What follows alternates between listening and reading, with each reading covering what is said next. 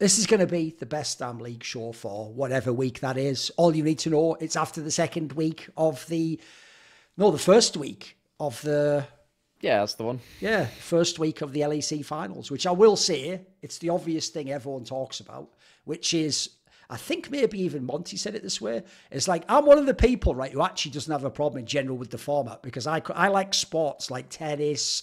Um, what, what else does it? I mean, StarCraft Brood War used to do it. We have multiple chances to win, basically. So that way, if, for example, you had a team, as it fully happened yet in LEC, I guess it did, Mad Lions last year. If you have a team that just catches a heater for two months, they can win and they get a championship instead of in the old system, they get like, you were good until week eight of the regular split, and then no one, no one remembers you like Vitality in that two years ago or whatever, and you just sink to the waves and you're yeah. never remembered again. So I don't mind it, but I will agree with this. The problem is, because they've made this part just about qualifying for worlds. And even though they go, no, no, no, no, no, no, no, it's about your seeding. People only care if they qualify. The problem is, this should be the ultimate championship. It's the season finals. But I don't actually feel like basically it really does seem. I think the problem is people essentially you've made it like more important to qualify the worlds than to win your own region in a way, you know. Whereas like if you think about how like the LPL design, for example, you need to win that, otherwise you're into like the fucking qualifier type thing or you're second on championship. It's it's like it make it kind of to me the incentive structure makes you go harder in a way, you know. Mm. Whereas like for G two basically, if they just come top three, the top three, that's it. That's all they need. I will say the one bonus here is that is the one event LEC which actually has a stadium finals. Like actually that's good. Yeah, yeah, that's so that, good. That's that, that's that's about the yeah, one yeah. thing I'd say. Now, I think a lot of people would view this format differently if it was a roadshow for each of these things which were yes. happening and it was summarized. That would be good. Obviously, that's not something which is happened in LEC. Uh, like I understand, like if if they're cutting back budget, uh, road shows are obviously the first thing to go because they bleed money. Yes, like you have no idea. It, it can literally cost millions to put on like arena events. Yeah, it, yeah. Is, it is an absurd amount of money. So I do understand it from that aspect, and I guess what that means that almost regardless of stakes, just because the the semis and the finals, and I guess the EMEA Masters finals is there too, but like that full weekend in Munich is going to be like the only LEC event in front of a road uh, uh like a roadshow arena crowd in the year just for that, even if it had no stakes, it might be the most important event of the year. I mean, God, if you think back to you know the 2018, 2019s where every finals was in a finals, it was in an arena and stuff like that, and you had these big game players that always turned up in front of crowds. That's kind of what people would play for. They, you'd have these people which come alive during playoffs because it would be in an important location or something like that. Um, this is the one chance to show that now. So that I will say that's the bonus of the season finals. But then the problem is it detracts from the others because it's quite easy to snooze on like the smallest stage you've been yeah, on the entire year. Oh, by the way, that's the thing that League of Legends. Here's a reason, a, a, totally separate but valid reason as to why LEC should definitely do road shows and big finals for all the LEC finals. Because remember, the one thing League used to have as an esport was we're the biggest. We're the biggest with the most viewers and the most money. Then explain this to me, League of Legends fans. How is it that in Counter Strike we make fun of the teams that can only win in the studio? In the sm- there's two or three events a year that are just in a studio in Malta, right? And if you win there in front of like you know the crew and like your girlfriends and that like 20 people in the crowd, we actually just sort of go, "You're not a real champion. You can't be number one." And then we have, I'm not exaggerating, let's say like eight events that are in front of like a real stadium. Might just be the 5k crowd, and then you have the ones like right now, ESL IEM Cologne's going on. The Lanxess, by the way, guys, can fit sixteen thousand or something when it sells out. Like Jesus. I've been in there. That is that is pretty sick. It's like going to a stadium concert in like the O2 almost. You know, if you go to see like some rock yeah. band or something. So it definitely is a difference. So I, I, agree. I think that's a fact that people do miss. Right, now, Mary, here's the obvious starting. Right. right? I've got the gag set up for you. So let's see how I do it. Watch. Mate, G2 are truly on another level because what they've done that is so sick is one, they're too good. So they've decided we have to start behind in the game, make it hard, work our way in, test ourselves before we get to Worlds. And are you ready? This is top notch. By losing to Mad Lions, then we're going to come back and beat Mad Lions. Then if BDS somehow beats Fnatic, Fnatic doesn't go to Worlds, they've already beaten us. The only team that can really beat us won't even be at Worlds. Now our chances of winning Worlds have improved. Listen, GR, G2, I could be on your PR payroll. No one could do it like that, baby. So, no, for real though, obviously, everything I said on the last episode, everything every prediction was, was like Mad Lions shouldn't even be at the season finals, and there's 0% chance they can beat G2. So let's just start there. How did they beat G2? Oh, God. where do you even start? How? Like, yeah, I mean, because uh, you have to sit here when you know we're analyzing these games. There is no way anyone would go back to that point in time and say Mad Lions are going to win and this is how they're going to do it. I still sort of feel like they. If you ask me again now, will they win last weekend? I'll tell you no. no of course not. I mean, it doesn't make any sense. Not definitely not. no. there are there are a whole bunch of factors which go into this. I'm trying to think which even the biggest one is. Um, there's one factor which I think G2 did poorly, which Mad Lions did well, and this is very visible. So I think it's probably best to talk about the draft. Um, yes. Because this is where things got weird right off the bat, where um, look at the champion pool for those of you that didn't see the, the series uh, somehow. Um, Myrwn played Lulu, Corki, uh, Zeri, okay. he was in his Smolder, bag, yeah, yeah, yeah, and then and then Aurelia top lane. Like these, the Smolder pick is fire as well. That is fire. Yeah. yeah. Like all, all of these picks are just like what what what the heck have you done? Like the Nidalee that last pick in the last game as well. I'm just sat there thinking, God, that was that was like the season four OP pick when they when they left it as the hybrid thing and they decided to bring those ratios back. Um, and I want to make it really, really clear here. When Mad Lions were picking weird stuff, they did it with a purpose and they understood how it was meant to work. That is the key thing which happened there. Whereas when you look at G2, um, when they picked some different stuff too, I mean, they picked the Viari, which they haven't picked for a little while, so I'm not going to call that weird, but it's maybe not something they're as practiced Do you think on. they were experimenting, um, maybe? Well, if they were experimenting, the problem is I don't think they came in with the correct mindset and the correct understanding of how those champions were meant to do. So, because if you compare... Um, you know, the way that Myrwn was using like these these picks later into the draft, it came in with really high value. You can understand exactly what they were going to do. It was holding picks which you didn't expect to get flexed into a certain role to then change an entire matchup, um, which completely changes the game. And I think um, when you have stuff which is going into unexpected roles, like the Corki going top lane instead of anywhere else, the Lulu random being top lane, I mean, that was probably the weakest draft of all of them, but um, stuff like the Nidalee being weirdly a top lane pick as well, which means you can flex it between jungle and top lane. No one. That's an old school fallback. Yeah, yeah. Yeah, exactly. That's like the season four and before. That's some shy shit. Yeah, the shy. Yeah, yeah, God. For those for those of you that really missed that thing, go back and watch season four Worlds. Just in general, watch that tournament. Great tournament in general. It's a banger. Um, but I think the biggest thing to uh, talk about this is one, it does obviously allow you to pick some different champions. So you can pick. Obviously, in the game five, it was the Vi which went into the jungle and not the Nidalee. At that point, you can flex things around. But I think that a key concept here is if something goes into a different role and has a very good matchup or something like that, I don't think you should consider that the same champion as that same pick in a different role. Smolder yes. top lane into a K'Sante is not the same as a Smolder mid lane into a Lucian. Lucian is going to mess your stuff up, like yes. very early on. If he's into a K'Sante, he's going to free scale. You can't do anything against him. You have to then dive that lane.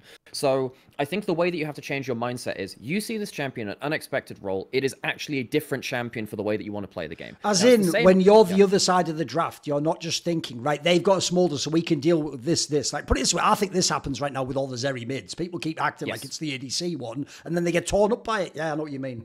Yeah. So um, it is the same champion when you rock up to a 5v5 later. Those late game 5v5s are like 10% of the game. There's yes. 90% of the game, which is your first levels of lane. It is the way that you're jungling around the map as well. Because what happens if you're laner? So for instance, um, when we saw the Corki into the Kennen, Broken Blade probably didn't know what was going to happen with the first few levels, as well as Myrwn did on the other side of that, because he knew that he could control the first few levels of that matchup in a different way, because Kennen is actually very poor against anything that outranges him, which is why I think actually blind pick maybe I'll talk about that in a bit later from G2 side of things. Blind pick Kennen, I think, is an absolute sin. It's great as a counter pick. Do not pick this when people actually have flexible champion pools. But that doesn't just impact Broken Blade's lane. It means that, yes, he might lose the lane in a way that he didn't expect to. It means that Yike then doesn't have a winning lane in top lane, which he was supposed to. Kennen's meant to be a lane bully. Oh, actually, no, it's not anymore because there is an unexpected lane matchup there. So if you combine this across all five games for Mad Lions, um, the biggest thing was when they were shifting things into unexpected flexes, and for some reason got red side for like four out of five games, which is for me unforgivable when they showed that they were doing this flexible kind of last pick random change across the map. Um, Mad Lions knew what that would do to affect the early game, affect jungle pathing, and in fact, uh, uh, impact like just the entire game state from that point. And G2 didn't. So G2 was sat there not really understanding the full implications of what was happening there. Um, whereas when G2 were picking stuff that was a little bit different from what they were doing as well, I don't think they were even picking this less out there stuff with the correct mindset to understand how it affects the game. Um, so for a quick example of this, um, when Caps played the Ahri in Game 2, obviously it's a specialty champion of mine, so I don't understand the matchups well. One of the biggest things we knew about when um, Ahri was last played to Vex, when it was last in meta, is that you kind of need to take some different runes. You kind of want to take bone plating instead of maybe the mana runes you take secondary. So you're taking stuff which helps you deal with burst in lane, because Vex is a very, very bursty level 1, level 2 champion when her passive is fully stacked at the start of the game. Caps didn't do that, and he lost that early lane. Now, that didn't actually end up leading to that much of a difference in that game, and they did snowball that game. But there are little moments like that where you can see that maybe G2 didn't have that lane understanding and the overall understanding of what would happen with these lanes and how it affected the game compared to how Mad Lions did on the other side. That's probably the biggest individual difference between the two teams. There are other things, but like I think that unexpected flexibility and honestly the sheer volume of random stuff they had prepped with flex picks that we've basically oh, not seen anywhere yeah. like it's absolutely insane i think the special thing about mad lions is that they came up with like a it wasn't just one bullet in the chamber this was like a full magazine of random stuff to throw at g2 which were all really well prepped we saw a little bit of this in winter, a lot of this in winter from Myrwn when he played, you know, the um, yeah, the yeah. six top, which he was using into. he was one of the original ones playing Varus, if you remember stuff yeah, like exactly. that. Yeah, yeah, it was. Uh, that, that, I think that was cooked up by the machinations of Kerberos and Solo Q for those out there. And okay. he's a good guy. I like him a lot. Um, he's an ERL player, but uh, Myrwn was the guy that would come in with powerpoints to describe how his champion should play in lane and how that would affect the team. That is really good. And you can see if you do that enough and you work that into the way that you bring takes to a team, it can genuinely shift things, not just in a best of one where you just randomly cheese stuff. You can actually do that for a full best of five. So for me, biggest thing first is that flexibility, which I just how how do you expect that kind of flexibility? It's absolutely mad, you know. No, I think it's actually what a genius angle I hadn't thought of because one of the f- things that's funny is I actually thought Myrwn had like speed ran the fucking Adam arc where you go from having this idiosyncratic style to co- I think I think I actually have a theory as to why people do this. It's like an actual psychological theory. It's that when everyone tells you, "Yeah, I guess you're good and you beat me, but only because you did that off meta pick," it then like reverse psychology playground style makes them go, no, I could play meta stuff too. And then so all of a sudden you get to the summer and he's playing like Renekton, K'Sante, and it's like, bro, what are we doing? You're Myrwn. Like your whole shit always was you had weird picks. Mm. And in fact, I always thought the genius in winter was, yeah, true. Sometimes he would sort of be a glass cannon, but it meant you could make comps like you're saying no one had ever played. No one, no one, had, like no one would mm. be quite sure. It's like actually, do we shut that down, or does he just get that many kills in lane, and does it fuck up with the jungle interactions? And so you come to the season finals. I agree with you. He's obviously the one where they've just said like just like Jesse, we need to cook. Yeah, just go. We're gonna go for. In fact, they're cooking like at that fucking that season where the guy goes, "Oh, I can only do ninety six percent purity of the meth or whatever," and they go, "But he can do almost hundred. Like that's what you were trying to do. Because I, the reason it's genius is uh, the reason I always back in the day used to love the VCS region and the old Gigabyte Marines is because if you're Gigabyte Marines, you could never actually beat an LCK team straight up. But I tell you what, if you do like a lane swap when lane swaps don't exist and you have to get the kill or you screw the whole game up, they've never seen that, bro. They're not Koreans are not doing that blue. So that might bizarrely steal you a BO1. I mean, everyone knows probably yeah. ANX, the most famous one ever. They beat fucking oh, ROX Tigers. Yeah. You know what I mean? Like that. That should never have been ever possible ever, but it was because they went completely out of the meta. So in a way, first of all, props to like Melzhet, props to Myrwn if indeed he isn't just a guy that picks it, but he can even explain what he's going to do. I would even suspect, by the way, in that sense, he's ahead of Adam. Like I don't know that Adam always can explain what he's going to do in the game or when he's going to push and when he's going to group. I think he doesn't know himself always, you know. So this is actually well played in that sense. And the reason it's actually cool is this because even though I thought he was overrated in winter, I'll give it up to Super. Now I know why he has that ego because he's the one guy, even when their team went to shit, actually sort of kept playing and kept getting kills and kept trying to carry games. And you saw when the team actually came together around him in these games, he could carry him. He was actually in position to carry some of the games. Like, what's funny is, even though the narratives, you know, when you set up a narrative on shows now, if you've been setting up a narrative for four weeks, part of you doesn't want it to be ruined because it's like, oh, fuck, I was working oh, on that. that work you know? but here's the thing if you're actually a true fan of the game and it's a banger game, you don't give a shit in the game. You throw the script out the window, you just get into it. So, actually, when I saw how they were pound on G2, I was like, fuck it. I hope they do win the series at this point in time. Like, just keep rolling. In fact, I would have been sad if G2 had just pulled it back at the end and just won the game five, you know. Like, in some yeah. ways, you wanted them to complete it Also, to sort of punch G2 in the face. Like, I'll tell you what, it's uh, it's kind of ironic because I don't think if you go back and watch that Fnatic Cup of bracket in summer that they really beat G2. I mean, even in the games they win, G2 could almost win them, right? I think G2 was fucking around. They were also trying some things, experiment with the draft priority, took away picks that were clearly strong for them. They were essentially putting one arm behind their back. This series was actually someone not only beat G2, but someone said to Dylan Falco, Would you like to play a game? And actually beat him straight up. And in theory, remember, no one's supposed to be able to do that. He's supposed to have all the fucking Exodia Pokemon, isn't he? Like, uh, did, whatever that was, fucking Yu Gi Oh! just for all the people, everyone's going mental already typing. It's Yu-Gi-Oh! the Exodia, wasn't it? Whatever. But that's the craziest thing. He was actually beaten in draft, bro. Well, remember, it was the whole Dylan, we've got to go Vayne. This is like that times 10 if you look at the actual picks and what they were doing there. Like, Vayne mid is like, actually, that made like a lot of sense just in terms yeah, of the yeah. individual lane counter pick. These things were like completely out there. And you know, like, sometimes you take things from solo queue and you think, yes, this can work. This was like a different level compared to that. And I think when it comes to the whole, yes, I'm, you know, we're glad that uh, Mad finished this off. I think how the opinions on G2 as a team have shifted in the last kind of month or so over these series which they've had in terms of the, the last three. Um, people, I think, were waiting for G2 to lose, and they wanted them to lose because G2 deserved to lose their first, oh, their yes. last three series. Yes. This is just the first series where the enemy team actually deserved to win. That's the only thing which saved them in their last series yes. before that, is because when they were up against these other teams, when it was like BDS and, and Fnatic, they just deserve to lose just as much as G2, and G2 just managed to clutch it out because they still are quite clutch players. Um, of course, when it comes down to it. But you know, serious credit to Mad. I think also um, another thing which we have to kind of redress at that point too is a lot of people were saying that Mad didn't deserve to be here at the season finals because oh they just won that sure. you know they were just finals in that winter split does that really matter what you know what what's up with this um yeah no they they've showcased that actually they do have the the at least the current level of form to be here now the way that they got to this point, yeah, I understand the winter season points and blah blah blah. The Adam Bench and all that jazz, yeah. sure. And and particularly given how Karmine Corp were playing at the end of summer, I can un- I can understand Karmine Corp yes, fans like being upset of that. And you know, actually, just before the season finals, I sat there thinking, yeah, actually, probably Karmine Corp does deserve to be there for Mad Lions. But you know, credit to them. This is an incredible series. By the way, um, an obvious thing you could do that they haven't thought to do is you could just take the last championship points and have them play each other to get into the season finals. Because then if they beat Karmine Corp up, no one will ever complain. I always say that. I don't mind if you beat me in the game and upset. It's just if you get the yeah. points, then someone can then I can just complain about the points, can't I? You know.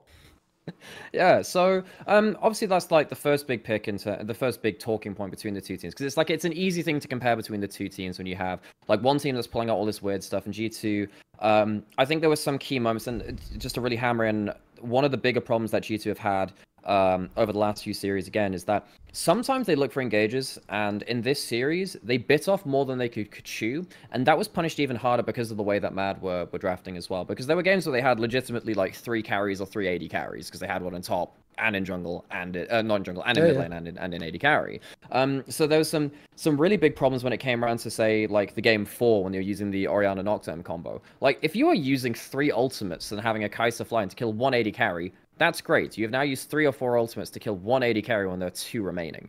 Um, so I think it's moments like that, and moments when I was saying in terms of just like some of the laning understanding, which was falling apart too, which really put G2 behind, and they couldn't coast through this series. And I think they have been coasting a lot recently, um, and a lot of this is starting to get really, really concerning for me. So if if we're going to turn this conversation over to the side of G2 side of this too, I think that particularly Broken Blade had a has had a nightmare um, beyond the, the just. By the way, also even though normally I think he does fine, like he sort of just does his job in the team and fills where he has to, and he tries to step up when he does, he doesn't.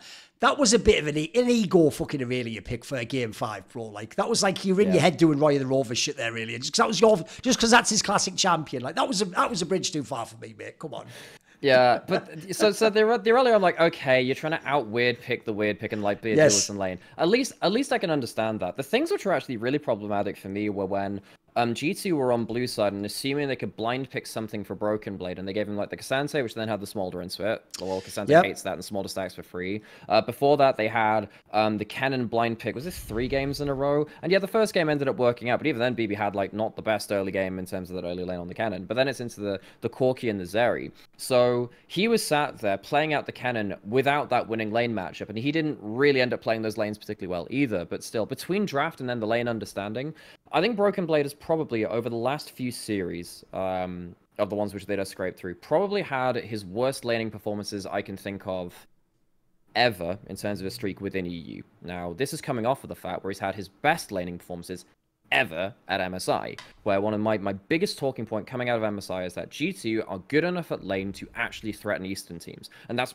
very, very rarely happened out of oh, EU. Typically, yeah. EU have typically EU have won against Asian teams when they've had like a cracking jungle path early game where they managed to snowball the game or something like that. We've never really seen like a straight up fist fight, beat you through lane, beat you through conventional League of Legends in terms of like just raw mechanics versus mechanics um, from lane. So now seeing Broken Blade come from that high down to here now, I have some real worries about this team because actually when we look through to further matchups as well, now actually suddenly G2 have to consider um, is the enemy top laner going to get away with their laning phases more than they should do? Or actually, can they punish Broken Blade now to a point too? We have to consider that going into future matchups. So uh, there are there are some cracks that have been shown from G2. And I think also this is a culmination of G2 I think they slacked off in summer. Um, I think that um, I was a, I was worried that they would be ex- some of their weaknesses would be exposed um, because they were not really tryharding, and that means they're not really playing the League of Legends that they want to, which means that actually when it does come around to the important series and they are pushed, what kind of information do you have to quickly fix these things? These should be things that should have been addressed for way earlier in the split, but you haven't necessarily been setting up for yourself uh, for success with that. So, um, yeah, when it comes to it, Mad Lions, they absolutely deserve to beat them. In G2, I think I have particular issues about top lane. And I think the last point which I'll say for this too is I also think there is a continuing problem now with Yike in the jungle. I don't think he's necessarily doing quote unquote badly. I'm just afraid that Yike is not determining the pace of the game anymore. Knowing this player from the ERLs and how he played on LDLC, he was a player that was like a macro linchpin. He would be moving around and ordering his uh, his mid lane and support around to get like really crushing um, ganks onto mid lane to get a snowball mid ahead, go into the enemy jungle, get farm advantages. I feel like Yike has been crowded out of this team in the way that he should be playing the game, and it means that um, you can see some games like, for instance, Game Five when he's on the Zyra versus Elyoya's um, Vi. Vi should never be competing in farm with the Zyra because Vi is not a farming champion. Zyra is, but because I think Yike is now playing um, as a resource for his teammates, and he's playing too selflessly. He doesn't take that selfish option. I think that Yike has potentially left himself particularly in this meta where jungles are so strong, without a lot of resources to play the game in the way that he wants to. So that's probably the last thing which I'd say about them too. I think that Broken Blade's lane understanding has been not great recently. It's probably his worst string of laning for a while. And I do think that Yike has struggled to take control and actually add direction to the game. I think he's just adding on to what other G2 players would really want. Yeah, okay. I've got a few things. Like one thing is that this is where I don't want to totally put the old tinfoil hat on and invoke Le Conspiracy. But I also do feel like coming into this series, G2 didn't expect to be tested. And I actually wonder if they really did like either do their due diligence or if they even were trying to experiment themselves. Because one of the immediate things I thought once we got to the end of this series is I was like, what is it? Something's missing. What is it? It's that it's the dog that doesn't bark. What what's missing? And then I looked back, bro. Where the fuck is Caps Zeri? Anyone who watches the LPL right now knows if you have a player like Caps and you can get him onto. They had one game by the way. It wasn't even bad. They just didn't pick it. They had one game where they on like the the what was that? That's insane in the LPL. That that pick is a fucking god when you have it on like a top top player. So that already makes me feel like why why are we like Caps was going to a more traditional champion pool if anything, and then also in this series because they've had those two ridiculous series against BDS and Fnatic. Yeah. In a stupid way, I almost feel like G2 think they can just be behind all the time. Because let's face it, even when Mad Lions won, they were still fighting most of the time. They were still getting kills. They could still sort of make the fights look close. I mean, one of the things I think's fooled everyone this year in LEC, and this is actually, in my opinion, the biggest factor as to why LEC fights looks like shit, and all the LCS people go ha ha ha and bang on them. Even though, by the way, everyone except Team Liquid would probably get murked by all of our top three. Easy. I think even Karmine Corp could murk fucking FlyQuest. They'd go head to head with Cloud9. The reason why it looks messier when you play in LEC is everyone opts into these like triple ADC comps. And as you've seen, I mean, you cast all the LPL games, mate. That just makes fights absurd anyway, because you really do get fights where like no one can really mentally calculate who's going to get the kill off and the damage. Or and so you get these fights where like it's like the joke of like I think I've got you cornered, but then you turn around and you're the one who kills me. It's like what the fuck? Whereas in the normal five to five, we all in our brains sort of can do those quick calculations of like right if I keep track of him. And so as you say, like for the example, like people overusing the ults even. That's some noob shit. That's again, if you have one ADC, you know when to get that off. If three you do it at once, you've actually you just entered the whole fight. The yeah. there are three of them. How exactly. That that's the genius. Whereas in your brain, you've been trained all of League of Legends. You kill the ADC and the fight is over, isn't it? Well, not in this fucking meta, especially considering what did it cost to kill him. And then lastly, if we're talking about ADCs, brother, Hans, where have you been, my dude? You even got Draven. Remember when everyone was scared of Hans Sama Draven? Yeah, this is an example of what you were saying earlier, mate. It goes the other way too. Sometimes old picks in their real role aren't the same pick. Draven ADC ain't the same, mate, when everyone's got an ADC. I'm shit scared of that. If it's if it's the only ADC on my team, yeah, that's going to be a fucking powerful. I feel like right now, mate, that would be the most killable ADC ever because everyone's got all these tools to get. So I feel like also Hans Sama, by the way, has just had a bit of a nightmare year all in all. Like it hasn't been a great one for him, has it? It, he's definitely not been at the level which he's been at some points before. I think that, you know, obviously parts of spring, G2 were like the one team that were playing kill lanes, or was that Winter? Look, earlier in the year. Winter, I, I, I think, yeah. Exactly yeah, Winter. Before MSI, especially, like when it was all Draven, all yes. Kalista, and, and whatever. Um, I will say, yeah, I th- I w- I'm not going to point too many things at Hans, because I also think that Mickey has had really bad on lane understanding too, which is, God, that CB2 has been all over the place, and I think that um, I was wondering whether this was a Mickey problem, whether it was actually Noah and Jund doing very well in the finals and just smashing them in the early laning phase. You know, you can see that. Um, you know, obviously Noah's gone on to have some really good early games, so I think that's definitely a factor. But yeah, Mickey, Mickey's particularly in lane, making a lot of mistakes alongside Hans as well. So they're not really getting the two v two advantages that they're doing. And if you're picking for a lane advantage and you're not getting it, that's a problem because like that's where a lot of your power budget for these champions and how their balance and design goes around. So also, um, by the way, if you think historically of every Hans Sama team, they clearly always want Hans Sama to have a lead in lane. That's like one. That's like checkbox number one for him and his team. So it's all the reason why I also think they're playing with fire generally in G two. They keep getting behind every game.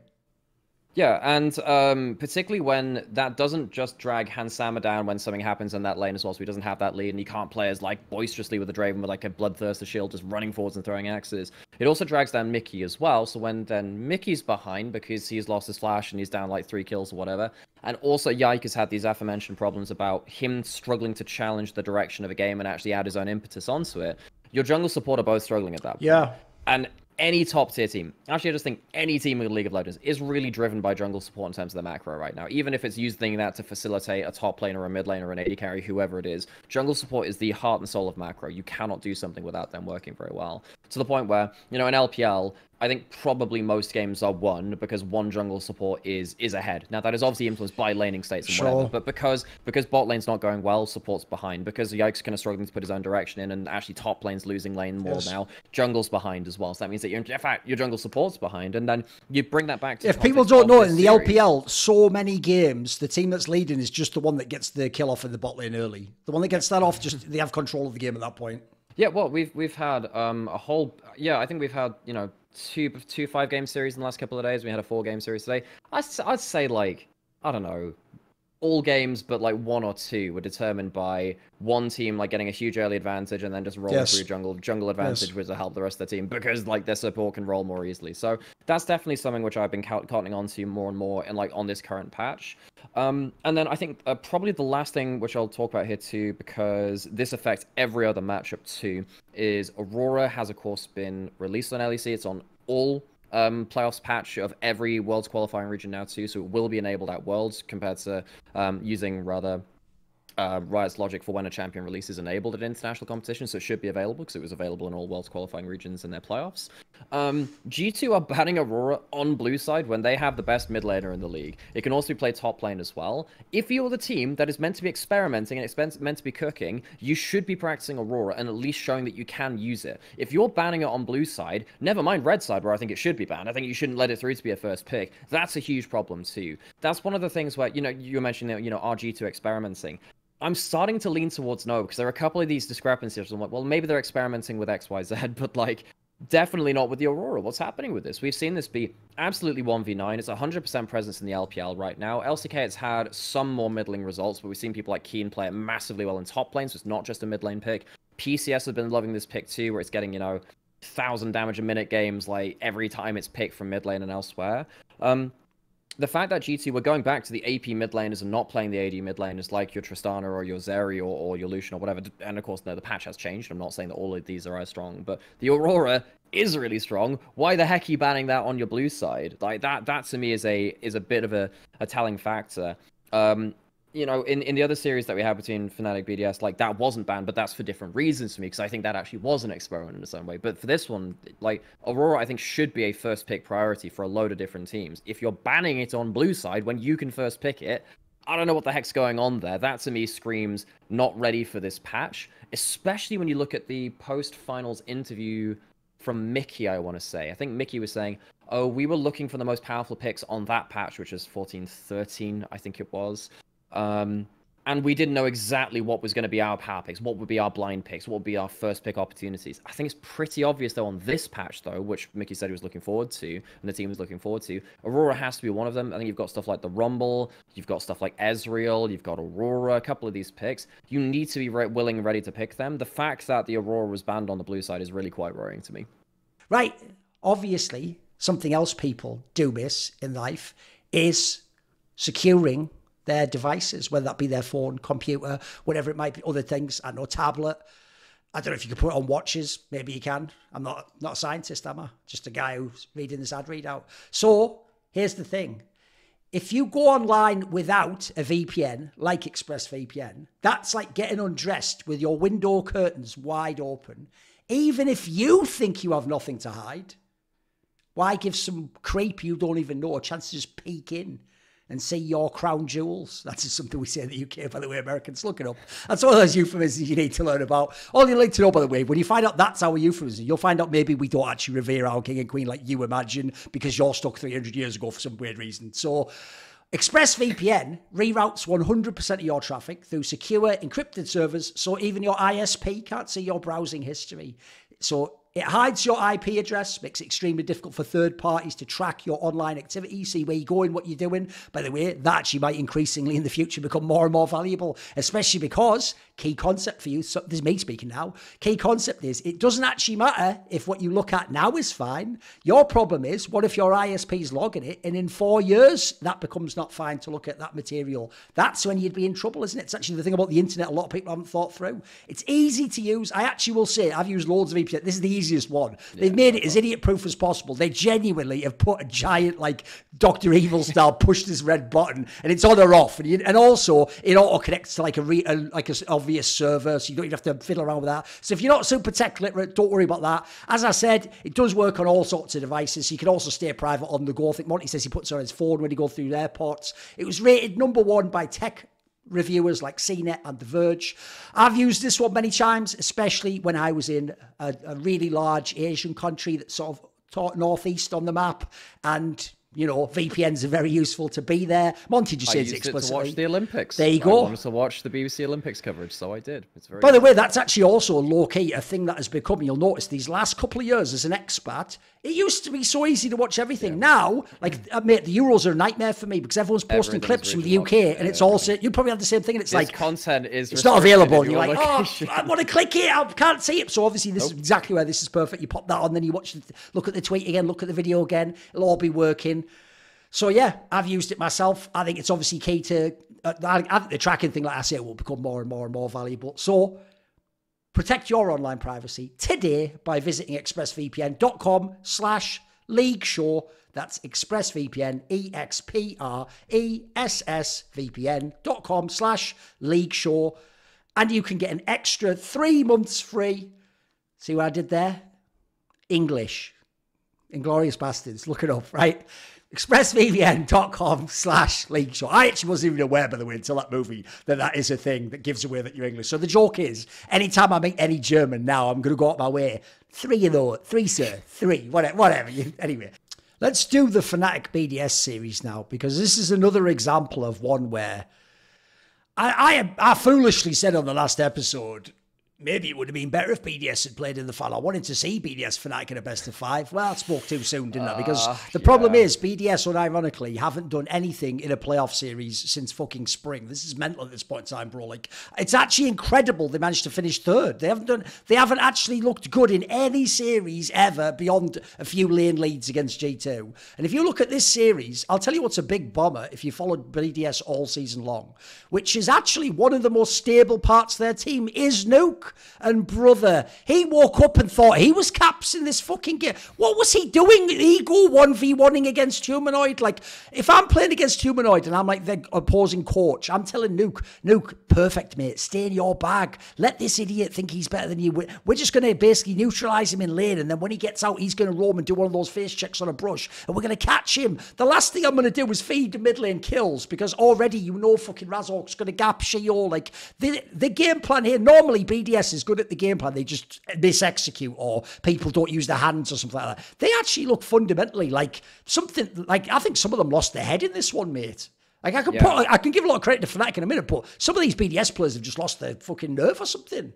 And you know, I'm trying to think how many best of fives they've lost over this year now. Like they've won, they, they, they, they've won one best of five, and that was versus Karmine Corp, and that was a three-two. But they lost like the G2 best of five back in spring. They lost versus uh, they lost versus Fnatic and versus G2 in winter. They lost versus uh, Mad yep. and they lost versus G2. Like they've they've done a lot of losing in best of fives, and yep. I wonder just whether I wonder just even though, um, because remember, one of the things we led the show out with is saying that actually one of the big things about this format in the season finals is that, well, you do get that arena finals for the semifinals and the finals, and it's in front of that big crowd. Dude, if BDS made it there, they they just liquefy. Like they just turn the jelly. If they are if they're performing like this yep. in a best of five in the LEC studio in front of 200 people, this team goes to Worlds, this team goes to like Munich or, or whatever. Yeah. I'm really afraid what would happen to them. You know, I was afraid of what would happen to like Noah in front of a big crowd sure. because of his his own, you know, like mental collapse in the finals and whatever. But like this is this is like historic levels of collapse considering how well BDS were playing in the best of ones and some of the um some of the best of threes. So I I don't know what the hell has gone inside the mentality of this, and I think that shows. Yeah, it does show up in players like Nuc a little, a little bit. I will say I, I can understand you feeling a little bit desperate when you've got a top laner and jungler performing the way that they're doing. The fall off of Adam. It's crazy this year, isn't it? It, it is. Dude, you would think that if, you would you would actually think that like he's in Tenet or something, and his career went like up to the like twenty like twenty twenty three, and then it went backwards now because he's regressed. Bro, I'm not joking. I actually thought at the beginning of winter he was really good. He looked like he was going to build on that and become, forget all the god shit. He was actually just going to be one of the best top laners. And then he's just gone backwards. And now he's actually doing that solo queue shit again, mate, where he just gets caught like an idiot. Yeah, because, um, well, last time I was on the show, um, we were praising Adam for kind of graduating from that champion pool. We didn't need that anymore because he used to use those things to make sure he had side lane presence because he can 1v2 and 1v3 and stuff like the Darius or the Olaf or whatever. And you had to then like rearrange the map to, to deal with this. You didn't deal with it in the way that you did normally with side lane. So therefore BDS have the advantage because Adam has this specific champion pool. Um, it doesn't matter what he's playing now. Adams had a historic fall off. Like this is genuinely one of the you know the most interesting, weirdly high level top laners that we've had in EU. Down to someone you, you can't trust in team fights, you can't trust him in side lanes, you can't trust him in laning phase. I don't trust his champion pool now as well. Occasionally he has himself like an Ornn game where, you know, he gets value because it's hard not to get value yes. on Ornn if you survive that laning yes. phase. Like, okay, cool. You survived. Press an ult. Sure, that'll do something. That's what he's been reduced to. That is that is really painful. And then the idea Adam you can't play K'Sante as well, like brother, everyone plays that.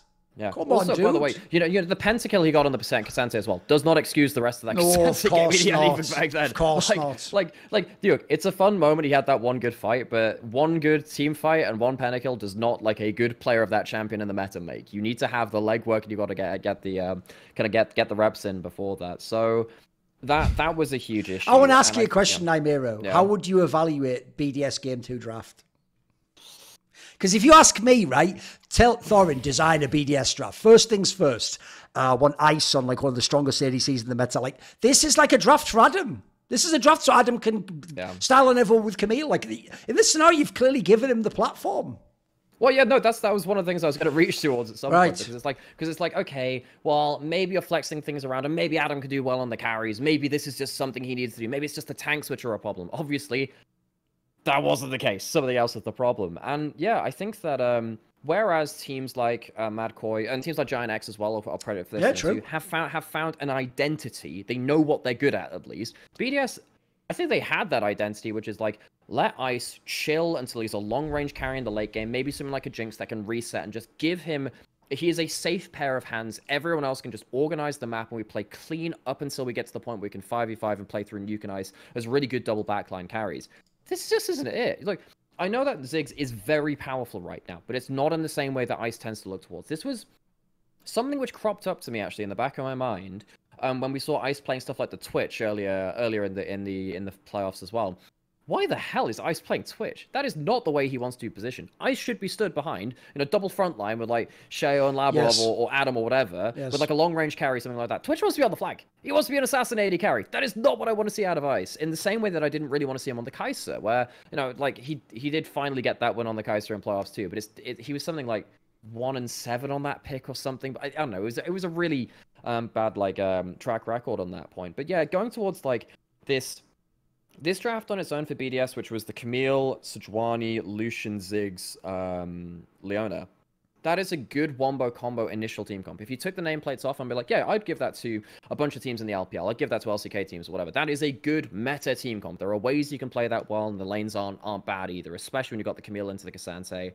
um, and and stuff like that. That that's good stuff. But as soon as you turn the nameplates on, it's just not the agency to ice which I want to see. Um, and I think that is giving too much volatility to Adam, who has not dealt with that volatility well either. And you know, this was a game where you know BDS somehow they you know they this was still a game which they ended up getting towards that baron and they threw around that baron too. So I will say they did probably play it better than I thought they would do. I think Adam getting those early kills in bot lane helped. Course, Oscar and then got like huge farm advantage, so they didn't like blow out the game or something like that. But you you could see that BDS trying to play for this long range combo. It wasn't really Ice kind of being that safe pair of hands in the backline. Really affected the way that they executed um, the team fights. This this was the most egregious game of the in terms of gameplay of the best of five. This like this is one which they absolutely should have won and they didn't. So that there is that caveat. But even with that in mind, this isn't the draft which I wanted to see. And I think that um, between stuff like Adam's understanding of side lanes and his play around side lanes going down, his just individual lane fight and team fighting going off as well. Obviously, a lot of that is individual underperformance. But then you combine that kind of well, they're not playing the side lanes well, they're not executing well, and actually their drafts aren't looking too shaky, uh, too good either. You know, one of the things that we mentioned the last time that was on here as well is that we thought that BDS's coaching staff deserved a lot of props. Of course. I think it's only right now, actually, at this point. Um, and it, look, this is this is the blessing and the curse of talking about coaching staff because we don't know exactly their role within things. We praise the coaching staff. We decided to do that. Now I'm deciding to trash them for this Just one too. What the hell are these drafts? What the hell are these side lanes? What the heck's going on there? Now, of course, there's every chance that this is completely independent of that. This is an Adam problem, both in the positive and the negative. But whatever's happened is an overall team um, team dynamic here. BDS um, pressure in the best of fives, individual level performance has gone through the floor. I think Sheo has also been wildly off form. And I think the saddest thing about that for Adam and Sheo being on really low form, I actually think Labrov had a good playoffs and this series wasn't even bad for him too. They have basically wasted Labrov's return back to a good level of form with the top jungle like falling off a cliff at the same time. Because Labrov, we know how good he can be as a support, and particularly sure. with EU support being not great, it's sad to see this uptick and this upswing be wasted like that. Being as I've so hard flamed him, I've even told him literally on Twitter, Twitter to just get the fuck out and go back to Korea. Not that he'd, he'd be in a challenger team. I have to give it up to Noah. He actually did play a lot better here than he yes, did in that infamous final. I mean, first of all, he actually sort of like showed a little bit of humility. Like he didn't just E forward all the time randomly on Ezreal and just get his ass caught and look stupid. He sort of played within himself, and as a result, he had an excellent series. No complaints there. Because one of the things coming in is I, always want to build this as this should always be the five game series. BDS against Fnatic should be like should be. hands against brains. It's the classic matchup, you know. It's even like the styles are different. Like Fnatic's the like skirmish all over the map style early. BDS is like we group around the objective, we try and catch you out and punish you. In theory, if you do that right, that's like an amazing MMA match right there, where it's like perfectly Time matched as a flat up. circle. Yeah, like CLG versus Fanatical. or yeah, or classic. yeah, Moscow Five. But then the problem yeah. you have is this: if you looked at the strengths, the obvious strength to me was like, look, Oscarinin's not like their best in lane, but Adam's going to give you free chances, so you can have an edge there. But then, okay, I think Ice is better than Noah, so maybe that can be an edge there if you can get to the fights. But when I came to do my bet, I just straight up bet on Fnatic because what I realised was even if those factors did play out, the one area I could never in my mind, I was doing like Doctor Strange, let's see all possible futures, and in none of those futures did Razork ever lose this series. That's my problem. I tried to think, no matter how good Ice is, it's never going to get past what Razork's going to do in the early game. And that's why I did think it was just beautifully brought up the Nidalee in the game three as well. Like, that's the Razork I yeah. want to see. That guy actually is just a fucking stud. D- didn't didn't when um Fnatic uh when they beat G two as well in the best of five Razork I, I think like the coach was saying like oh you should probably go for this pick or whatever it's like nope going Nidalee and just locks it and he just like slams yep. that game I think when you're a Nidalee player, you kind of have to have that confidence. If you're not feeling yourself in Nidalee yes. and you're playing it half-hearted, you're not actually playing Nidalee. You're playing jungle Soraka. You're playing for like a late game heal on your E, and you've done nothing up until that point. So yeah, um, we know that Humanoid and Razork can be very variable players. We saw the upswing of them. Fantastic series from them both, and and yeah, I think really is worth hitting again on how the fact that Noah in his previous series, good early game, couldn't capitalize late, and has some, you know, historic throws. So obviously that doesn't invalidate yes, those. Of course. Um, he had like one moment in that game one around the dragon fight where he nearly died, uh, like randomly by diving in too far, but he still actually managed to um, judge the knife's edge there too.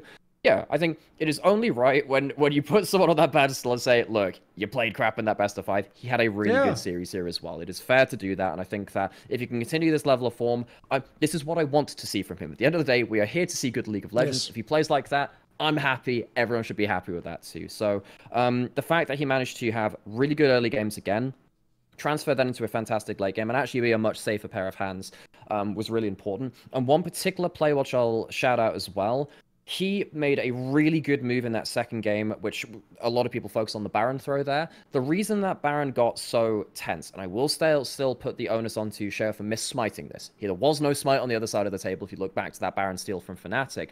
But what Noah did do is something which is normally something you see from a Miss Fortune on a red side draft. So if you think about Miss Fortune, how can she how can she threaten a Baron fight? Obviously, she wants to put her ultimate across the entire Baron pit. It is much easier to do that when you're on technically red side because you've got that Baron wall protecting you. The terrain actually protects you as well. I think this is actually something which isn't talked enough amongst kind of like league analysts in terms of like the actual terrain of the game affecting how champions play from one side to the other. Dragon fights are sometimes easier on blue side, sometimes they're easier on red side. Some champions want to play on both. Miss Fortune really wants to play Baron fights on red side because you've got that wall protecting you most of the time. People can't just walk at you. Noah's a blue side Miss Fortune. So bearing in mind what we just said there, he doesn't have that wall to protect him except he goes out of vision and on his own gets into position to ult across the Baron pit from out of vision. BDS don't see it coming, and they're being attacked by a quote unquote red side Miss Fortune position because he's still used that wall, skirted around the enemy battle lines, and he's got himself into that position to ult the pit.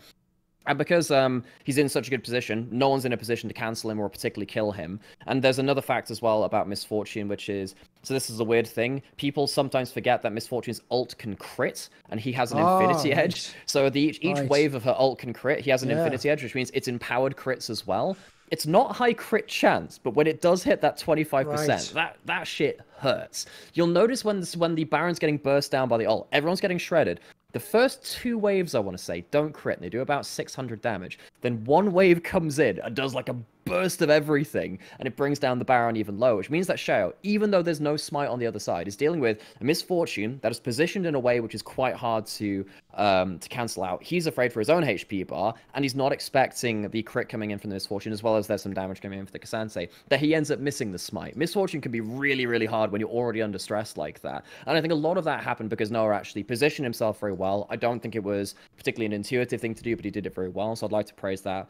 Um, from him there. We'll also still just say, though, there still was no Smite. Smite Sheo had Flash, could have just backed off and flashed back into Smite range. He could have played it better, but the fact that Noah improvised and ended up making that play work for himself is definitely a play which I want to call out. Um, and it, yeah, overall, the best best of five we've seen from Noah so far. And that really helps because he's been really good in the early game. I think it's part of why Fnatic, Fnatic are the best early game team in EU right now. Oh, a lot of that is actually coming through just these great laning performances across the board. This is a question I want to ask you as someone who's watched all these LPL games. One of the things that I keep piping is I don't just think people should celebrate Razork as like a great Western jungler. He actually has the hands and the feel where, dude, I actually think he could give you some like BO1 upset in that Swiss system. You put him against like the right LPL team, the right LCK team, he could mix it up. Like, I could believe he could outhand some of these guys, man. Um, I think when you're looking at people who go beyond best in the West or best in EU or NA, and then you go to terms of well, okay, what's their potential elsewhere? You, I think the key factor for me is seeing how a player can take a seemingly small mistake and make a game-changing moment out of it. Now, we saw that from Humanoid versus Cream at MSI, where he played the LeBlanc, and there's a particular thing you can do with LeBlanc where if the enemy pushes the wave in but doesn't get the full crash and it stays outside the enemy turret, LeBlanc jumps over that minion wave and tries to poke you down time and time again. Now, that's how Cream ended up getting blasted by Humanoid.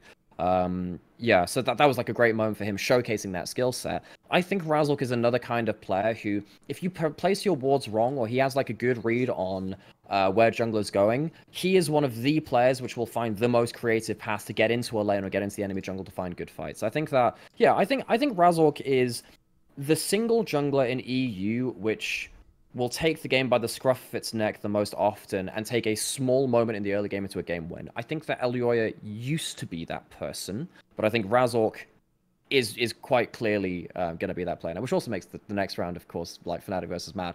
If we've got Elyoya in form and then Razork in form as well, yeah, maybe we'll see a bit of vintage there too. But Razork, um, you know, it, it, also a thing from him too is that uh, very occasionally we we've seen both him and Humanoid even beat out G2's mid jungle when they were playing well too. There was that one. I can't remember if it was the best of one or the best of three, but um, just before they led into it, apparently G2 lost their entire scrim block to Fnatic, and then they got on stage, and then like Razork on the Poppy absolutely monstered them in this huge play when Caps was playing the Ahri, and they had like the Poppy Taliyah.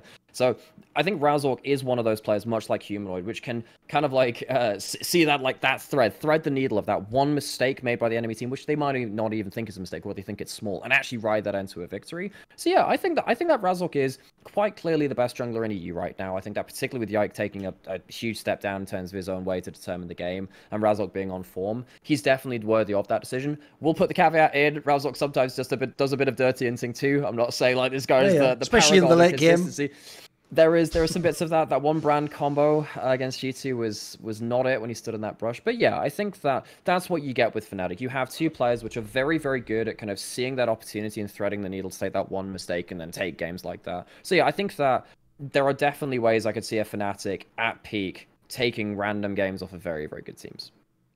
In the lower bracket, we have a matchup that we saw as a BO3. We saw SK play. Oh no, sorry, SK play Fnatic actually. We we get the BDS SK matchup now, right? Which is in a best of five. Now here's the problem. Both teams look like they've tanked. So I actually on this one, I feel like this could just be a fucking slap down, drag out fight. Who the fuck knows what's going to happen to this one? Like, like think about it, right? I don't even know at this point in time Essentially, the only player on these two teams I can rely on is irrelevant from SK. That's about it. Aside from that, I don't feel like I can rely on any player in the. Maybe Labrov if he gets his shit together. Like I feel like everyone's at their worst right now. So it should be a competitive matchup. But which which side are you leaning for this one? Oh God, this is this is the mic. This is the matchup which gives me a migraine. I think even in the GX G2 game, I actually have like some solid logic for why that okay, matchup could play okay. out in like some ways. Like I actually think that GX could have an angle. Yeah, yeah. Okay. Get to that, we get to that. But this one, I'm just like, Look, what the hell's going to happen between Isma and Sheo? Both these players are like susceptible to level ones. Yes. If either team come, if either team preps like a handful of okay level ones, this series might just be one off of that. But also, if it does go beyond that, I think both of the junglers have been really poor at executing a lot of the big 5v5s later into the game. I think that's one of the big reasons why BDS um, couldn't find their own big team fights. I think SK versus Karmine Corp, that was that was probably the biggest reason why they, they couldn't beat them, where Karmine Corp had developed this style where they would absorb and engage and then they run it back at you. Well, SK were just throwing crap engages. It made the absorb absorbing the engage even easier at that point, where Isma would just randomly get caught and then just go in as Maokai and hope for the best. So jungle matchup is one which I'm really worried for both sides, and because they're so key to the way that they initiate team fights, I the, the matchup analysis could actually end there at the worst case scenario. Actually, everything else just like fades out. It's just about well, okay, which jungler is like executing poorer today. Um, yeah, I think that SK have a really good mismatch in top lane right now with Adam's laning phase being so bad. So, so bad and irrelevant. Um, you know, he can play stuff like that. Camille much better than Adam apparently can right now. I don't trust Adam to counterpick something like a Kennen in the oh. way that Myrwn did against against Broken Blade. So I think that the Kennen probably is now a power pick for for relevant if he wants to play that too. So yeah, I expect laning phase and then team fight impact to work out from top lane. Um, for SK. And I guess the other bonus as well is that because we haven't seen SK for a little while now, they will have had some time to prep some different stuff and to okay. not show anything themselves. So I think some of the little X factors here are leaning towards SK. So for, for instance, you know, um, speaking of that top lane matchup, what if Irrelevant can play that top lane Aurora, which we haven't seen any yet? Maybe if Nisqy um, can play it as well in mid lane, I I don't know what to make of Nisqy on playmakers like that. I'm not exactly sure. After that Ezreal game, he threw historically as well um, against Karmine Corp. Definitely one of those champions where I'm like, okay, give him three dashes. He might use them to go in and completely throw a game away. But I'm I I think with all of like the mini X factors, I would probably favor SK in terms of like that real mismatch in top lane. It is a real conversation, that particularly in jungle, about who actually works out better from this. Shay or Isman not being under as much pressure because their opposing number isn't doing as well. They're really important to their team. Technically, that takes the fire off of both of them, but that doesn't necessarily mean that one of them is going to benefit like hugely from this. I still think both junglers are struggling. Here's the thing. In theory, when I try to analyse, I look at the players. I do think, in theory, SK should win. I actually think BDS, the difference is BDS has looked bad a long time. SK, like half would look good and then throw the game, right? But I have to say, even though I agree with your analysis, I refuse to pick Nisqy to win a best of five until he proves otherwise. This motherfucker is like I actually think for real, because he got through the early years of criticism, then became pretty good, and then became like a great teammate, and then sort of like willed rosters that people didn't think were that good to better finishes and a bunch of finals. He's even won titles. I feel like everyone's forgiven him, and we've been giving him a lot of rope. And spoiler, he's used the rope, as you might imagine, in Minecraft to unalive. Like this guy, it's criminal some of the ints he does. He does some of the the craziest straws I have ever seen, like solo queue level stuff. And it's weird because he's a mega veteran. And he seems like a player who's vocal, you know, like he doesn't seem like he's got the I don't think he's doing it for ego. I don't know what it is. He just does he just, he actually genuinely creates it. It's one thing, you know, when you just make a mistake. He sort of like finds it when it when I didn't even know. It oh, reminds yeah. me of Hylissang when he would be at his worst, you know. They just they find an angle I didn't even know existed. What about Noah? I mean Noah had like these crazy sure. early games, massive kills, and then he threw it in the late game. Nisqy has done that like a million times before. Yes. Like there was that game versus Weibo where he was against Xiaohu goes like that was eight insane, kills up when Sylas versus yes. Ahri, and I sat there thinking like, oh my yes. god, this is an unplayable matchup for Ahri when he even gets one kill. He's got eight of them. This is unlosable, and yet he finds a way. So that was that was historic in its own right. And you know, I just realized another funny thing too, because I'm saying, well, you know, BDS they've only won the one best of five this year, and they've lost the others. Guys, SK haven't exactly, exactly. We exactly. don't even know. Even though in point. two splits they are flattered to deceive that they would get there, and they never do. They never. Oh do. god, and yeah, you, you, look at like their regular seasons as well, and they and, always you know, tease they, you, mate. They're yeah, so they, they're so outrageous. like, didn't they? In even in winter they started off three and zero, oh, and then yep. in summer they or like or, or whatever yes. it was, and then they ended up third because they slumped a bit. Then in spring they. I always say SK is my old school flying saucer. I want to believe poster. I so want to believe this team could be good, but I tell yeah. you what, I'm just sick of getting my heart broken. I'm here. I'm just yeah. fucking, you know. The, one of the saddest things about that too is because like on, on all levels but gameplay, I really like SK. I yeah. Mean, um, I know a lot of people mind their content stuff. I think Laura, Laura Lunardi is fantastic. Their content, and of course, as like an org as well. SK. They like, Krepo killed it with the yeah, GM in the last two years. Little uh, budget, yeah. yeah. Yeah, yeah, and I, th- and I, think I actually speaking from speaking to Swiffer as well. I like the way that he thinks about the game. We've I've had some good gameplay related conversations with him, and also just as an org, SK like one of the OG oh, of like gaming yeah. things ever. Like all they need to be like that you know, more in the public eye and have that command, community support behind them is get some freaking results. Yes, like, absolutely. Where, where are they? Make it's a final at least. Years. Yeah, exactly. Make yeah, a final. Give know, us a sweat. Yeah. Yeah, and you know, I just, I just want to see like if they can make it through these best of fives and actually show that they can be a best of five team. Because if they can't even do it in the best of threes, where like you know the Karmine Corp best of three that they lost uh, in playoffs was like game one, yep, easy. Game two and game three, well, they were definitely not good in terms of their execution, in terms of their early plays or in their team fights. So I don't know. Hopefully the team, the the time off's done some well for them. Maybe the patch changes worked out well for them too. Maybe Nisqy can go over to something like the Aurora or or something else. Um, a little bit more mage like in the mid lane, which works for him, and and maybe that'll be the difference. But this is the problem now. We have two teams which are not they are not best of five teams. One of them has to win, and that's only because the other one is going to be worse than them. And that that feels. I'm not judging this by the strengths of each team necessarily, besides maybe irrelevant. I'm judging this by okay, who's going to put the du- enough duct tape on the vital components for long enough. In the G2 GX series, before you get hyped, because I actually think there are some, they can win a game or two. But here's the one factor that is immediately interesting, which is if you were G2, you don't have to worry about any of that top lane flex pit shit anymore. Like, look, if there was ever one team where I can tell you, I can already predict the three picks that top lane's going to take in this one, right? At least that's going to be stabilized. Like, Broken Blade, just get back in your original bag, get the normal pick out of picks. You know what top lane's going to be. And obviously, ev- all eyes on Jackies in this one. It's all eyes on Jackies. But I tell you what, though, one thing I like, it's one of the reasons I also hype him is I don't even think it's just that like he can do a pop up here.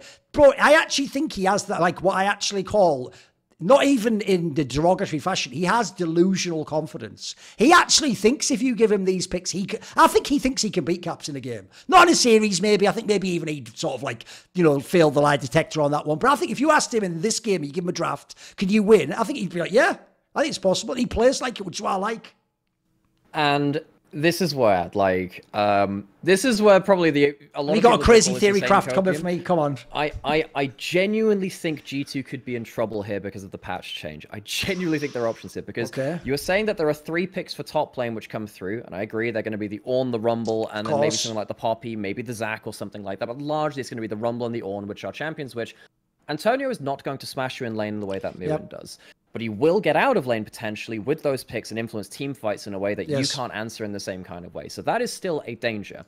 Now, take those picks off to the side here and say, well, they've got three of them. We can ban most of them away. If Aurora gets into the hands of Jackies and Jackies shows that he can 1v9 on this pick, which we have seen in other regions right now, that needs to be on the ban list for the rest of the series probably, and G2 are already doing that. That's one of your three bans used up. So if you use that, and then maybe you actually wanted to ban away the Amumu from jungle or something like that, that's actually been something which Giant X have been doing as well. And then you have to ban away the Rumble and the Ornn as well. That's actually four picks there. We've already got to four at that point. I actually think with the patch change, if G2 don't drop the Aurora ban and learn how to first pick it, I think Giant X could get themselves their comfort champions. And also then factoring in that Broken Blade, while I don't think he's going to get counted in lane, his laning performance hasn't been great himself. I don't know whether he's going to be able to stop Antonio getting for team fights. Imagine that phrase. That's Broken crazy. Blade is not going to stop Antonio getting to team fights. You'd think that would be the other way around yes. in any other iteration of this. this. I, maybe I'm on just like the hopium of all time, okay. the copium of all time. I genuinely think Giant X could run away with something like a 3-1 if the drafts are poor enough from from G2. That is genuinely the timeline that we're in. Now, of course, G2 are a team which are very, very good at taking losses and saying, well, that sucked. We'll fix our drafts for the next time or whatever. But I think particularly when you're looking at Giant X is a much more conditional team. And as we mentioned earlier when we were talking about, you know, Mad Lions and then kind of criticizing BDS for not doing this, they know what they're good at. They have triple tank engage where they have like the Ornn, Amumu, and then something like the Rell, Alistar, which are like the triple tank engage from top, jungle, and then support if you then have this extra champion of the Aurora for, for mid lane or top lane, I mean, I doubt Antonio will be playing that, but particularly for that for that mid lane, I wonder whether these combos are going to be more freely available to them because Giant X looks very practiced on them, and this did feel like a kind of team composition where Giant X were playing them because they were good at them, not just because it was just like a cheese thing or something like that. Because I think it allows um, Juhan to just like be this kind of big go button. It allows him to play the game very confidently, which I don't think he was doing particularly without that. So if he gets himself, you know, Sejuani, Vi, uh, Amumu, and just kind of gets those snap engages with everyone else, and actually they get all of their key picks, call me crazy. I actually think Giant X could really throw t- G2 for a loop because G2 don't have that X factor themselves of saying, well, we'll just smash you in lane. Oh, we'll just play them magnificently like this. If Caps isn't playing the way that he was smurfing, you're not going to have that X factor. If your bot lane and top lane are having this misunderstanding in laning phase two, that can also be a huge factor as well. So, um, barring Caps you know having his pop off performances and um, bot lane kind of getting getting a, a, a, like a too big of an advantage over Patrik, who's not actually been that great, and of course IgNar as well, who's not necessarily a learning specialist. Yep. I think Giant X are at least taking a game. Yeah, I think I think it's plausible. I mean, for a start off, again, I already saw it against Heretics. I want to see the Jackies Zeri. Let me see that pick. Yeah. Lock that motherfucker in. Because then then I'm just sitting back with a fucking cork and a bag of chips waiting for the game to play, mate. Especially because here's why it's also going to be awesome if they can actually get some like actual picks out of lane, mate.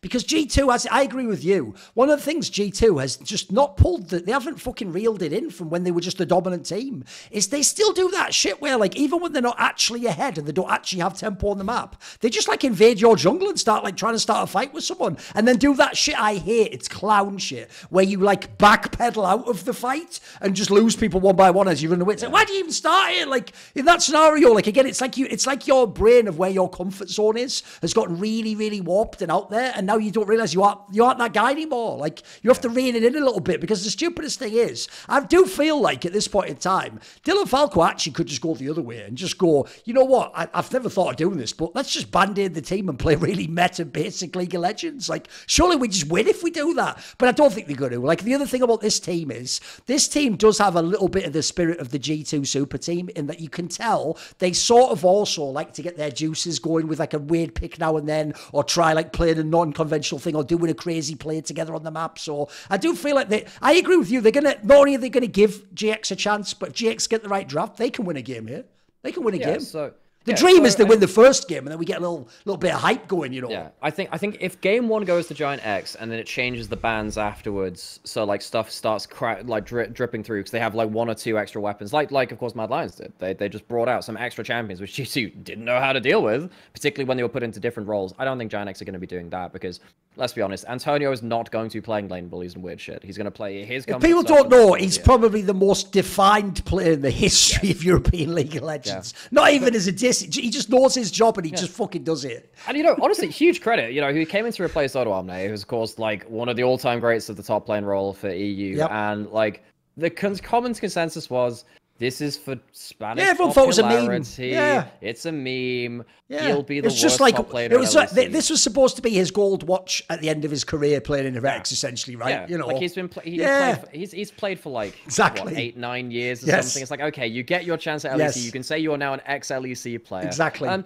he has definitively not been the worst top player no, in no, the LEC. Absolutely That not. is the bare the, that is like the bare minimum you can you can give him. Anything more, bro. Like I'll give it. I'll give him even more credit. And could you imagine yeah. anyone traveling back in time and showing me John Connor this fucking video, bro? I actually think if you put the Antonio on BDS, they would probably be better right now.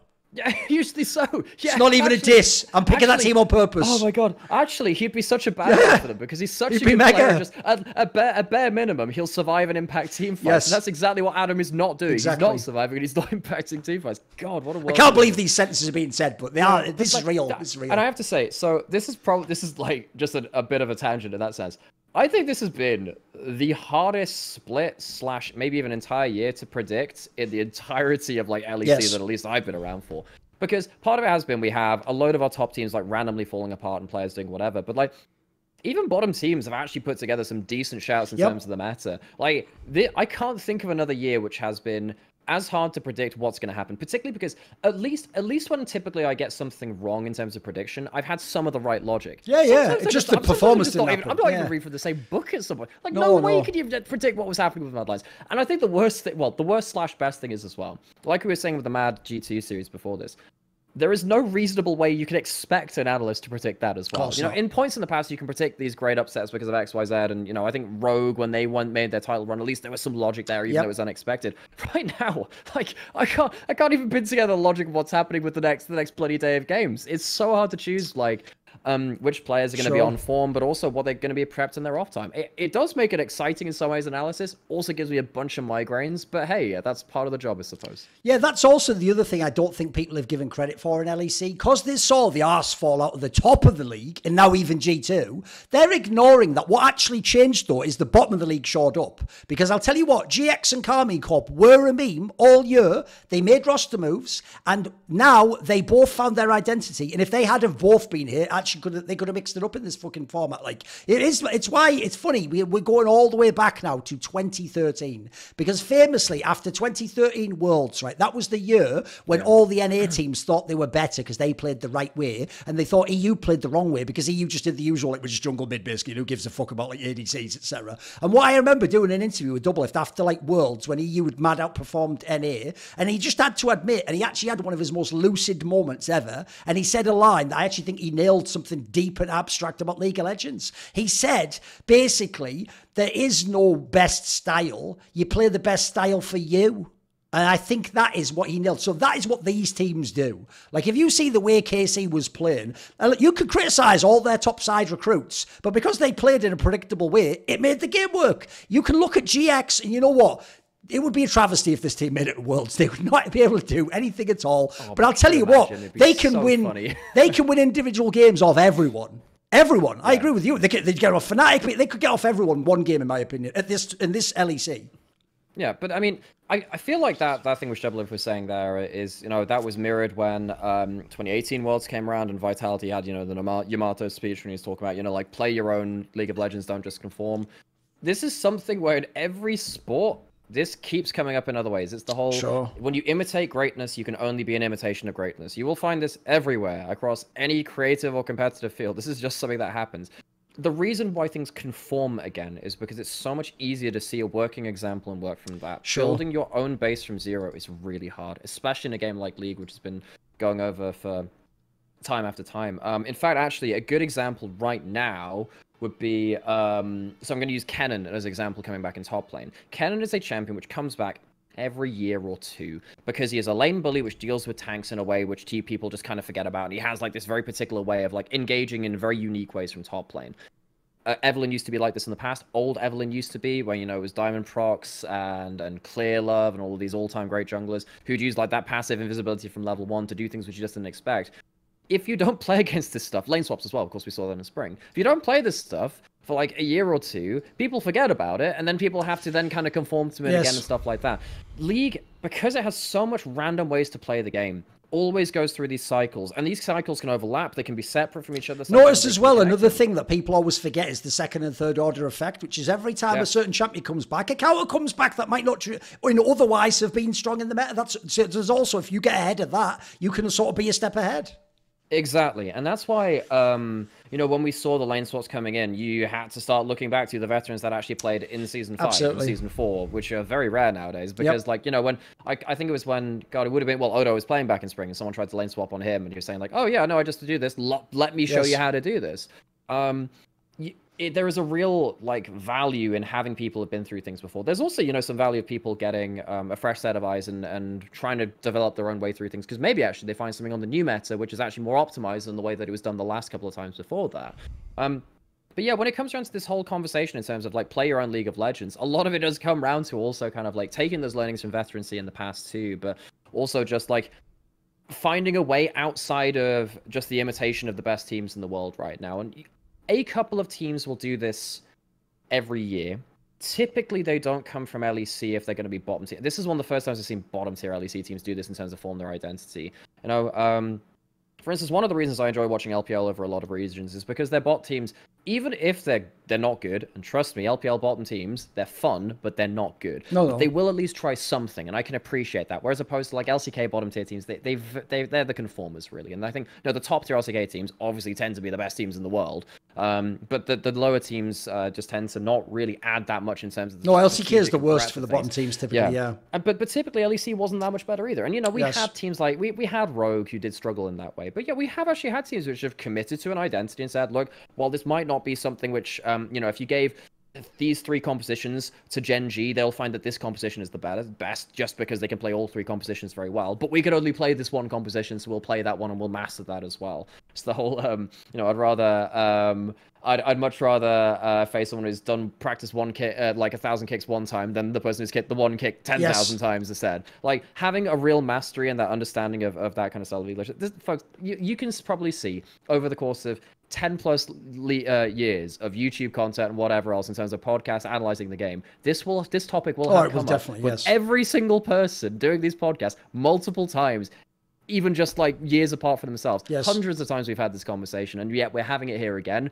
Congratulations, folk. We've rediscovered the wheel. It's why actually it did make sense that for years Adam's God's Champions worked because even when people were like, "But this is the count," and this, no, he has played it one thousand times. You've played it three, and you've done a theory session. Like you actually don't know. You are you are in danger. You're Ralph Wiggum. You're in danger right now. You think you've got the counter, but you haven't. You're you're gonna get bullied. Right? Okay. It was a good episode. We got through it all. We even had some insane theory craft of how G2 comes last place in the season finals, which, by the way, all I'll say, if you want to really tease yourself, is just go and look what the fuck that would do to the championship points. It's bonkers. So it's funny. actually criminal. So I'm just going to leave that out there. I don't think it'll happen. This wasn't Dom. Can, at least at least we're not conforming. yes. Might, it might be complete exactly. BS yes. by the time the game's Exactly. Happened, but it's different yes. logic and we're not conforming. We've done it ourselves. Will it be Dom next episode? Let's see on the next episode of the Best Damn League Show. Period.